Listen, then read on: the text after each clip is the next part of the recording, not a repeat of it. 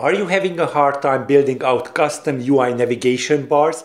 Well, today is your lucky day because in this tutorial, I will show you how you can create a transparent UI navigation bar. So let's hit that subscribe button, open up Xcode and let's just jump right into it.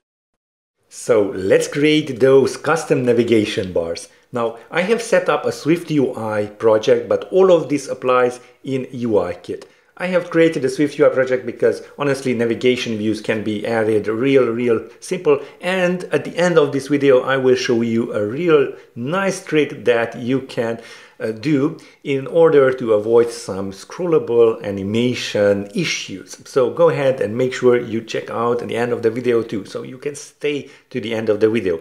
Now, what I have added here is a simple navigation view Inside that it's a scroll view and I have added that navigation bar title on that scroll view because yes, uh, the navigation bar title has to be added inside on the inside view that is inside the navigation view. And on the scroll view, I have added a for each loop, uh, 1 to 50, uh, and I'm just adding a text with that number and I'm padding it. So uh, let's just build and run and see how all of this looks. And uh, we will see a basic navigation bar. And this is uh, a type a large navigation bar.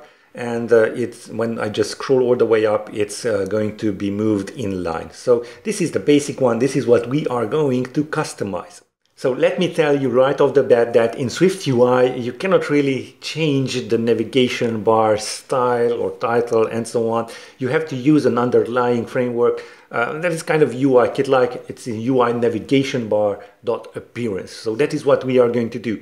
And yeah, this is why all of this works in UI kit as expected.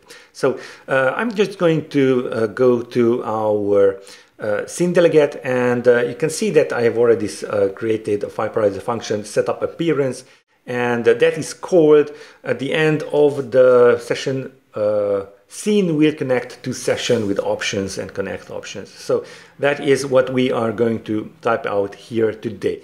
So what we are going to do here is uh, use UIKit elements and uh, there might be some auto-completion issues here, but I will type everything out so uh, you will see. And uh, we are going to use UI navigation bar dot appearance. And the first thing you want to do, and I will just uh, remove the background of the navigation bars, and uh, then you will be able to customize it to your heart's content. So first thing that we want to do is set the background image as a a, a, UI image, a simple initialized UI image without any frame for the bar metrics, and that is UI bar metrics dot default. And uh, let's just start typing in set background image. And as you can see, it's not really updating. It doesn't have any uh, auto completion, but bear with me, it will be a-okay. So background image and uh, we will use uh, UI image for and uh, that will be UI bar metrics dot default. Yes UI bar metrics dot default. Okay now if you build and run this you might not get any effect bear in mind all of these need to be combined in order to get the desired effect. The next one is that we want to kind of remove the shadow image and again we are going to uh, add a simple initialized UI image. So again UI navigation bar let me just move this out of the way so we can see even better. Dot appearance and shadow image equals to UI image and initialize UI image. And you can see it kind of uh, purples out the text that is a meaning of that, okay, this is a right code. Now, what, uh, next we want to set the translucency to uh, true. So UI navigation bar dot is translucent equals to true. Okay, that should be okay. Is translucent. gray. Uh, oh, we need appearance. There we go. And uh, next up, we, we want to set the background color to be clear. So UI navigation bar dot appearance and background color and that is clear and uh, yeah this was auto completed yeah. This is plain old UI kit stuff and that is what we are moving away from but currently you can do this uh, with appearance. Okay so let's hit command R and see what we got so far. Okay. And great, great, because now you can see that all of those scrolly uh, cells are behind that navigation bar. So that means that this is actually a translucent navigation bar. How awesome is that?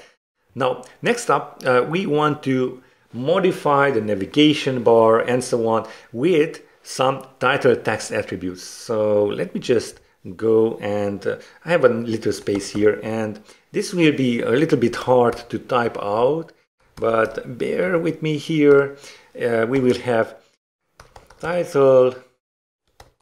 Text.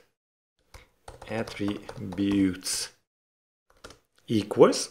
And uh, just check here. Yes it will be an array of ns ns attributed string keys. So ns attributed string dot key and we are going to use the foreground color. And that will be let's say a UI color of red. Hey okay uh, next up what we want to do is have a font. So ns attributed string dot key. There we go. Where is the capital K? Key uh, dot font. Okay. And that will be let's say a UI font. And uh, I will just simply use a system system font of size. And let's say 50 here. And uh, I believe we can add a weight here too. So weight dot heavy okay let's see if that fills up and uh, we need to yes we need to have uh, it inside an array so all of these two. Let me just add those parentheses correctly. Yep, everything is a-okay. Now we want to change, uh, let, let's just see this how this works. Most probably if you would do this in a UIKit project, you would have auto-completion, but that, that is okay. So now you can see that we have a larger font and we have a red foreground color for that navigation bar title. How awesome is that? Now, next up, we want to kind of, uh, I will just show you how you can add a back indicator image. We will not test this out because we are not moving away and so on, but maybe we will. Let's just uh, type that out. UI navigation bar dot appearance and uh, we are going to set back indicator image Okay, that's back indicator image, and that will be a UI image, and with a system name, system name, and I will use a chevron, so chevron dot left dot two. Okay, and finally, we want to set also the back indicator transitioning mask image. Okay, UI navigation bar dot appearance dot back indicator transition mask image. How hard is it without autocomplete? Okay and that will be again uh, UI image with the system name so I will just simply copy this out Okay, so it's up to you to create a new uh, navigation, uh, a new view, the secondary view for you to show in the navigation and you will see uh, that chevron uh, right there. So it's really, really powerful stuff. Now, one thing that uh, you might have noticed is that when I just scroll all the way up, you see that uh, it's kind of dull, that we have that transparency even when we are moving to the inline style of the navigation bar. So uh, there's a quick fix for that and uh, um, what that does it, all of this is working only in the scroll view because yeah we want to scroll all the way up. So uh, to fix that we are going to use a VStack. So add that scroll view inside that VStack. And just add a simple spacer and on top of the scroll view. So if we build and run right now, we will don't have that uh, really quirky effect.